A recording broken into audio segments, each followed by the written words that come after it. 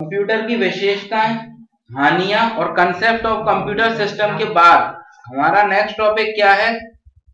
Type of computer या computer system या computer आपके कितने प्रकार का होता है? तो कंप्यूटर को उसकी कार्य प्रणाली के आधार पे देख लिया जाए, या आपके कंप्यूटर जो है उसको तीन टाइप पे क्या किया गया है? क्लासीफाई किया गया है, या डिवाइड किया गया है। पहला है कार्य प्रणाली के आधार पे दूसरा है आपका उद्देश्य के आधार पे और तीसरा है आपका आकार के आधार पे। कि आकार के आधार पे कितने टाइप्स का कंप्यूटर होते हैं, उद्देश्य के आधार पे कितने कंप्यूटर होते हैं और मैकेनिज्म उनकी कार्य प्रणाली के आधार पे कितने प्रकार के कंप्यूटर होते हैं। तो सबसे पहले नंबर पे आएँगे हम टाइप ऑफ़ कंप्यूटर सिस्टम का पहला प्रकार है बेस्ड ऑन मैकेनिज्म उनके कार्य प्रणाली के आधार पे आपके कंप्यूटर जो है तीन प्रकार के होते हैं। पहला एनालॉग कंप्यूटर दूसरा डिजिटल कंप्यूटर और तीसरा है आपका हाइब्रिड कंप्यूटर एनालॉग कंप्यूटर वह कंप्यूटर होते हैं जो भौतिक मात्राओं को नापने या मापने। नापना, मापना एक ही चीज़ हो गई।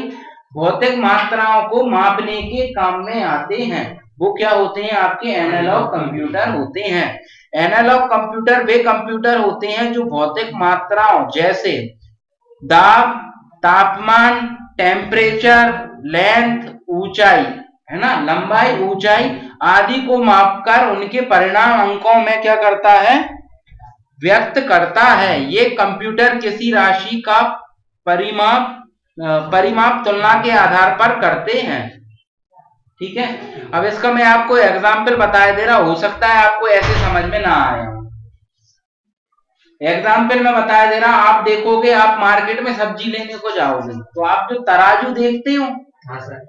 एक साइड उन्होंने क्या रख लिया वज़न रख लिया वेट रख लिया और दूसरी साइड आप जो भी सब्ज़ी रख रहे हो वो उसने तराजू को पकड़ा और आपकी क्या कर दी तुलना कर दी। तुलना कर रहा है तो कहीं ना कहीं क्या है वो कंप्यूटर ही है। ठीक है? इसके बाद आप आओगे डिजिटल कंप्यूटर तो डिजिटल कंप्यूटर आपके ऐसे कंप्यूटर होते हैं जो आपकी गणना तो करते हैं, पर कैसी गणना करके देते हैं आपको? अंकों के आधार पे गणना करके देते हैं। अब इसका एग्ज़ाम्पल आप देखोगे, तराजू ही लो। लेकिन इसका एग्ज़ाम्पल कौन सा? तराजू लो इलेक्ट्रॉनिक इलेक्ट्रॉनिक जो आपका कांटा आता है, वो इसका एग्ज़ाम्पल हो गया। या आपका, आपको टेम्परेचर नापना है, तापमान नापना है, बुखार नापना है तो एक मरकुरी वाला थर्मोमीटर आता है, वो एनालॉग हो गया। डिजिटल कौन सा हो गया? आजकल जो थर्मोमीटर आ रहा है उनमें अंकों में तापमान आता है। घड़ी देख लो। सुई और कांटे वाली सुई वाली घड़ी है वो एनालॉग है। नंबर वाली है वो डिजिटल है। ठीक है? इसके बाद आप आगे बढ़ जाओ। नेक्स्ट आपका एग्ज़ाम्पल क्या है इसमें? हम्म? नहीं नहीं। एनालॉग और डिजिटल अब डिजिटल में आप वज़न वाली मशीन वेट करने वाली मशीन होती है तो आप खड़े होते हो, अंदर एक चक्री घूमती है, वो एनालॉग खड़े होके डायरेक्ट आपका अंकों में वज़न आ गया डिजिटल एनालॉग और डिजिटल में अब इतना ठीक है. एनालॉग ऐसे जो भौतिक मात्राओं फ़िज़िकल क्वांटिटी को नापते हो और डिजिटल ऐसे जो ज़ीरो और एक के फॉर्म में गणना करके, अंकों के आधार पर गणना करके आपको दे दें अब हम आएँगे हाइब्रिड कंप्यूटर पे। हाइब्रिड कंप्यूटर आपके ऐसे कंप्यूटर होते हैं जो एनालॉग कंप्यूटर और डिजिटल कंप्यूटर दोनों से मिलकर बने होते हैं। ठीक है? अब इसका बेस्ट एग्ज़ाम्पल अगर आप देखोगे तो बेस्ट एग्ज़ाम्पल है आपके पेट्रोल पंप की, जो पेट्रोल भरने की मशीन होती है वो। आप बोलोगे कि भाई सौ रुपए का पेट्रोल डालो जहाँ आपको नंबर दिख रहे हैं, वो हो गए डिजिटल कंप्यूटर। ठीक है?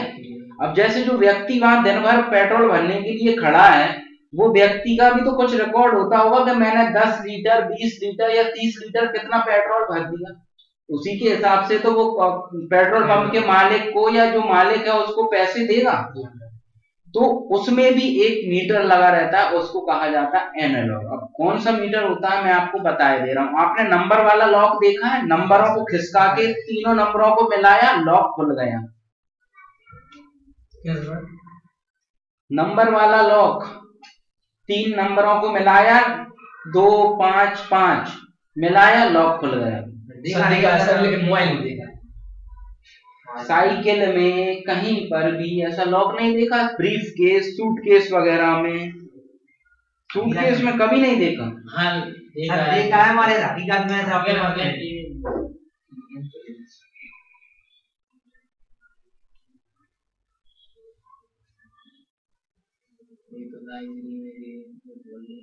नंबर लॉक आपने देखा होगा याद नहीं आ रहा है इस टाइप के लॉक देखे होंगे कभी ना कभी जिसमें नंबर मिलाते हैं लॉक खोलते हैं। ये तो नॉर्मल लॉक है ऐसे ही आपके बाइसिकल के लॉक आते हैं। तो ये लॉकों में क्या होता है? ऐसा ही मीटर होता है। आप तो ये सोच लो इस प्रकार का मीटर नंबरों के आधार पे नहीं ऐसी गणनाएँ होंगी उनमें। ठीक है? जैसे मोटरसाइकिल मीटर चलता है। हाँ जैसे आपका जो आपका स्पीडोमीटर होता है स्पीडोमीटर बोला जाता है। बाइक का जो स्पीड बताने वाला मीटर होता है एक तो आता है डिजिटल जिसमें आप कितनी स्पीड पकड़ रहे हो वो दिखाएगा। और एक बताता है कांटे के आधार पे स्पीड और फिर उसका बताता है आप कितने किलोमीटर चल गए। तो वो आपकी डिजिट घूमती रहती हैं उसमें। और एक डिजिटल वो एनालॉग ठीक है? इसके बाद आप आओगे बेस्ड ऑन पर्पस कितने पर्पस के कंप्यूटर होते हैं तो आपके पर्पस के आधार पे या उद्देश्य के आधार पे कंप्यूटर दो प्रकार के होते हैं। पहला है आपका स्पेशल पर्पस कंप्यूटर दूसरा है आपका general purpose computer general purpose computer आपके ऐसे कंप्यूटर होते हैं जो सामान्य उपयोग के लिए बनाए जाते हैं। आपके घरों में जो कंप्यूटर रखे हुए हैं, वो जनरल पर्पज कंप्यूटर होते हैं। कीबोर्ड हुआ माउस हुआ मॉनिटर हुआ सीपीयू हुआ। कंप्यूटर बन गया टाइपिंग कर ली गेम खेल लिया, गाना सुन लिया मूवी देख ली, या आपकी आवश्यकता का काम कर लिया। वो क्या हो गया? कुछ लेटर टाइप करना है वो जनरल पर्पस कंप्यूटर इसके बाद हम आते हैं special purpose computer special purpose computer ऐसे कंप्यूटर होते हैं जो किसी विशेष उद्देश्य के लिए बनाए गए हों। ठीक है? विशेष उद्देश्य के लिए बनाए गए हों मतलब आज बारिश होगी आज ऐसी हवाएँ चलेंगी उसकी गणना करेंगे आज धूप निकलेगी या आज मौसम में क्या है? बादल छाए रहेंगे वो मौसम की गणना कर रहा है, कंप्यूटर ही करता है वो गणना, ये होते हैं स्पेशल पर्पस कंप्यूटर ऐसे कंप्यूटर जो कोई एक पर्टिकुलर काम करने के लिए बनाए गए हों। मौसम विज्ञान में सैटेलाइट को चलाने में, यातायात को कंट्रोल करने में ट्रैफ़िक लाइट होती है, हरी हो गई, चले गए, लाल हो गई, रुक गए। वो भी कंप्यूटर ही है, उसमें भी सेट है कि इतने सेकंड के लिए लाल रहना है, इतने सेकंड के लिए हरा रहना है, या फिर आपने इंदौर कभी गए हो और इंदौर में आपने देखा हो तो इंदौर में एक रोबोट चौराहा है। वहाँ पे पूरे ट्रैफ़िक को कंट्रोल कौन करता है? रोबोट करता है। जिधर से रुकना है, उधर ऐसे हो गया। जिधर जाना है, ऐसे कर दिया। तो वो रोबोट क्या कर रहा है? पूरे ट्रैफ़िक को कंट्रोल तो यातायात कंट्रोलिंग के लिए हो गया। मेडिकल फ़ील्ड में भी कंप्यूटर आ गए हैं। मेडिकल चिकित्सा के लिए उपयोग कर रहे हो तो भी स्पेशल पर्पस है। सब आपके एग्ज़ाम्पल यहाँ पर लिखे हुए हैं। अंतरिक्ष विज्ञान में, मौसम विज्ञान में, उपग्रह संचलन, सैटेलाइट को चलाने में, अनुसंधान एवं शोध रिसर्च एंड डेवलपमेंट यातायात नियंत्रण, कृषि विज्ञान, ठीक है? इसके बाद आप आओगे चिकित्सा के क्षेत्र में, ये आपकी स्पेशल स्पेशल ठीक है? आप एक काम पर्टिकुलर कर रहे हो, मान लो अल्ट्रासाउंड कर रहे हो सोनोग्राफी सोनोग्राफी में जो कंप्यूटर जुड़ा है वहाँ कोई टाइपिंग तो करता नहीं है उससे क्यों? क्योंकि उसपे तो सोनोग्राफी का ही काम चलेगा। मान लो या कोई आपको एक एक्सरे एक्सरा खींच रहे हो एक्सरा निकाल रहे हो जो कंप्यूटर एक्सरा प्रिंट कर रहा है तो उसका एक ही काम क्या है? एक्सरा प्रिंट करे। तो वो स्पेशल। स्पेशल इसके बाद हम आएँगे बेस्ड ऑन साइज़ आकार के आधार पे आपके कंप्यूटरों को पाँच प्रकार से क्या किया गया है? डिवाइड किया गया है। Super computer mini computer mainframe micro और डेस्कटॉप कंप्यूटर। सबसे पहले हम लास्ट वाले को डिस्कस करते हैं। डेस्कटॉप कंप्यूटर आपके ऐसे कंप्यूटर होते हैं जो आपके घरों में रखे हुए हैं जिनमें keyboard mouse CPU monitor desktop फिर हम आते हैं सुपर कंप्यूटर। सुपर कंप्यूटर आपके ऐसे कंप्यूटर होते हैं जो आपके डेस्कटॉप कंप्यूटर जो घरों में कंप्यूटर रखी हैं, उनसे अधिक गति वाले और उनकी कार्य करने की क्षमता होती है दस गुना इनसे ज़्यादा। मतलब ऐसे कंप्यूटर जिनकी कैलकुलेशन की पावर ज़्यादा हो स्टोरेज की पावर ज़्यादा हो, वो सुपर कंप्यूटर होते हैं। ये कंप्यूटर तेज तो होते ही हैं, पर पैसे की बात करें ना तो नॉर्मल कंप्यूटरों से खरीदने में महँगे भी होते हैं। ठीक है? पर सुपर कंप्यूटर आपके नॉर्मल घरों में नहीं रखे जाते बड़े बड़े फील्डों में रखे जाते हैं, जैसे कोई आपका रिसर्च चल रहा है, कहीं की आपकी बड़ी ऑर्गेनाइजेशन है, जहाँ किसी चीज़ पे आप क्या कर रहे हो, शोध कर रहे हो, वहाँ पे। ठीक। मिनी कंप्यूटर आपके क्या होते हैं? मिनी कंप्यूटर आपके माइक्रो कंप्यूटर से तो क्या होते हैं? अधिक गति वाले और अधिक स्पीड वाले क्या कहलाते हैं? आपके माइक्रो मिनी कंप्यूटर कहलाते हैं। मिनी कंप्यूटर का आपका एग्ज़ाम्पल है, आरक्षण प्रणाली में। रेलवे स्टेशन पे उपयोग होते हैं, बैंकों में उपयोग होते हैं, एयरपोर्ट पे उपयोग होते हैं, वहाँ। Mainframe computer. Main frame computer आपके ऐसे कंप्यूटर होते हैं जिसमें एक मुख्य कंप्यूटर को डिज़ाइन किया जाता है, उसी मुख्य कंप्यूटर से बाकी सब कंप्यूटरों को क्या कर दिया जाता है? जोड़ दिया जाता है। जो भी जानकारी उपस्थित है उस मेन कंप्यूटर पे है और उससे जितने भी विभिन्न कंप्यूटर जुड़े हैं सब उसी से जानकारी मांग रहे हैं। मान लो एक स्कूल है बच्चे गए हैं पेपर देने। ठीक है? पेपर कौन लेंगे? टीचर प्रिंसिपल क्या करेगा? टीचरों को पेपर प्रोवाइड कराएगा या देगा।